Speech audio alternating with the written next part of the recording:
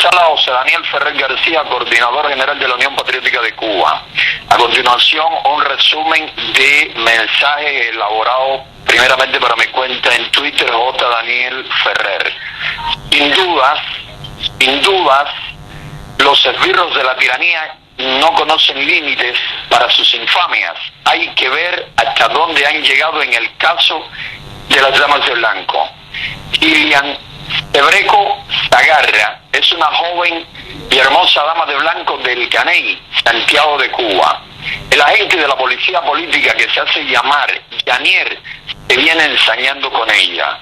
Este esbirro la ha detenido durante los dos últimos fines de semana y la viene sometiendo a largos interrogatorios nocturnos, la amenaza de mil maneras, para luego proponerle que si se casa con él o es su amante, la deja tranquila. Ha amenazado con echarle la moto encima, con meterla presa o con buscar dos negros delincuentes, según sus propias palabras, para que la violen. Ayer, después de más de 24 horas en un calabozo, la liberó en la noche y luego comenzó a acosarla en la calle montado en su moto junto a otro agente nombrado Bruno. Estos son los héroes de mil batallas en los que se sustenta la vil tiranía de los Castro. Ayer en la noche fueron liberadas también, después de varios días en calabozos de la tercera unidad policial de Santiago de Cuba, las llamas de blanco Alina Fonseca Guevara y Eduí Isaac Rodríguez. Alina pasó más de 72 horas en un sucio calabozo, Eduíguez más de 48. Alina es la esposa del prisionero político Grimar Mutelier Galán, miembro de la UNPACU. Otras damas de blanco que resultaron detenidas durante el fin de semana fueron Carmis Águedo, Yaricel Figueredo, Elena Garcés, Taimí Vega y Yalín González. Carmen Águedo fue detenida junto a su hijo Enrique Lozada, miembro de la UNPACU. Ambos fueron golpeados por los servicios encargados del arresto arbitrario. Darmis ha sido golpeada brutalmente en tres ocasiones durante las últimas semanas. Yaricel Figueredo también fue golpeada durante su arbitrario arresto. Con todo el fuerte operativo y la violencia contra estas pacíficas mujeres, 30 llegaron al Santuario Nacional del Cobre y pudieron rendir sincero homenaje a Laura Poyán Toledo, la fallecida líder del grupo.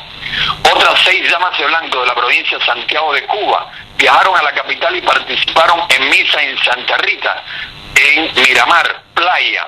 Allí también rindieron homenaje a la fallecida líder del grupo, Laura Poyán Toledo. En el Santuario del Cobre estuvieron 18 mujeres de la provincia de Santiago de Cuba y 12 de la provincia de la provincia Holguín.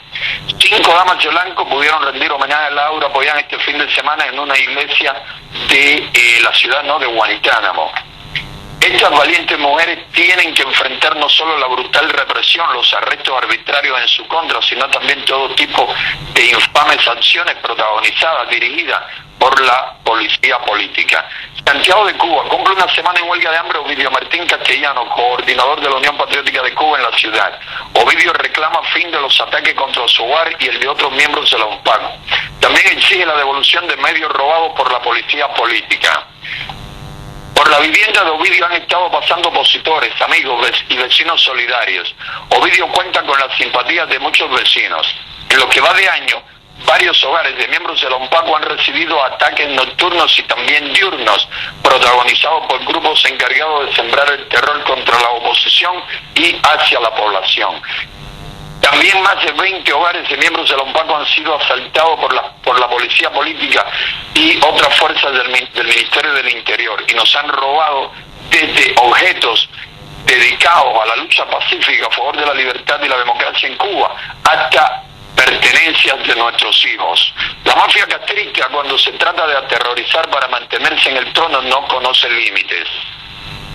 Diariamente recibimos noticias desde varias prisiones del país. Desde la prisión de Potosí, Jorge Cervantes García envía saludos a todos sus hermanos de lucha, a nuestro representante en el exterior Luis Enrique Ferrer García, a la Fundación para los Derechos Humanos en Cuba y a todos los que son solidarios con la causa de la libertad de Cuba.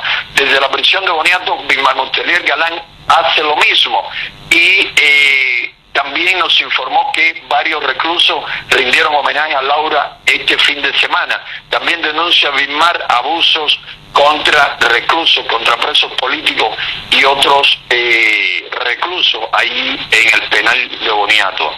Desde la prisión de Marverde, Pavel Arcia Céspedes, preso político, también miembro de la UNPACU, denuncia críticas condiciones en que sobreviven y negativas con la asistencia médica, tanto para él como para otros reclusos.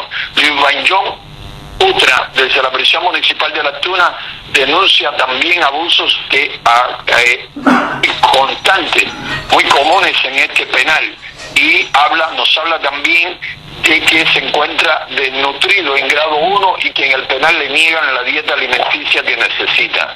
Desde la prisión de Holguín, los reclusos son Mani Espada Rodríguez y Miguel Ángel Guilarte Leiva denuncian abusos en su contra. Espada y Guilarte son opositores de Antillas, provincia Holguín. Guilarte lleva 10 meses en prisión acusado de un delito de hurto y sacrificio de ganado mayor que dice que nunca cometió, que fue fabricado por la policía política para sacarlo de las calles de Antilla. Se ha cosido la boca en varias ocasiones, ha estado en huelga de hambre en tales condiciones y también ha recibido brutales golpizas. El arte Leiva eh, espera que eh, se levanten voces a su favor y se le termine haciendo justicia. Libertad para todos los presos políticos, libertad y democracia para Cuba ya. La Unión Patriótica de Cuba felicita a la Unión Europea por el merecido Premio Nobel de la Paz 2012.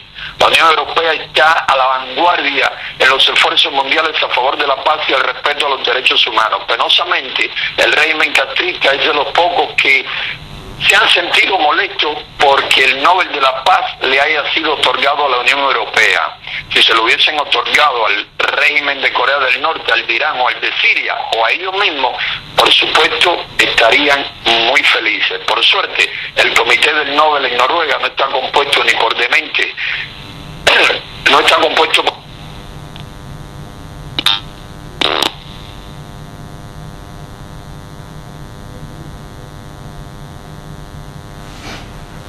José Daniel. José Daniel. Bueno, como hacen normalmente, es decir, como de costumbre, interrumpieron la llamada.